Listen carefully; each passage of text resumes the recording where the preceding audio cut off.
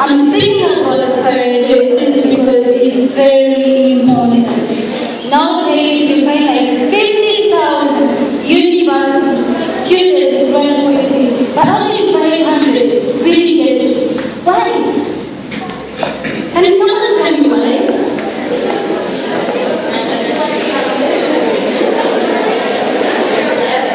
Yes? You're saying something? Please.